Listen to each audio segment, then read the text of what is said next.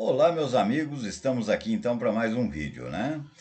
É, no Lidraus eu joguei um torneio, né? Pra lá, uma partida para lá de interessante, um Gambito Potopov, né? É, um golpe sensacional, próprio da posição. Eu já joguei isso não sei quantas vezes. E de repente eu olho e vi o golpe, até assustei. E a pessoa caiu no golpe. O mais importante foi isso, né? Então veja, saí, fui, né? Troquei. Ele veio pro Gambito Potopov. Aí eu dei, joguei.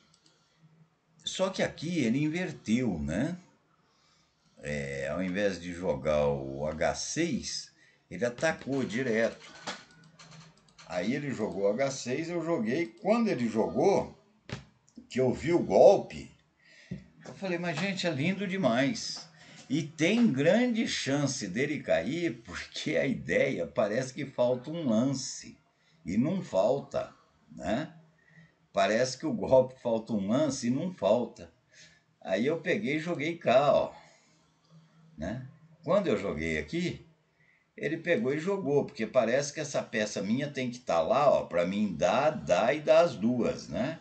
Só que aí dá lá, ó. Por que, que isso não tem na regra russa? Porque na regra russa come para cá, ó.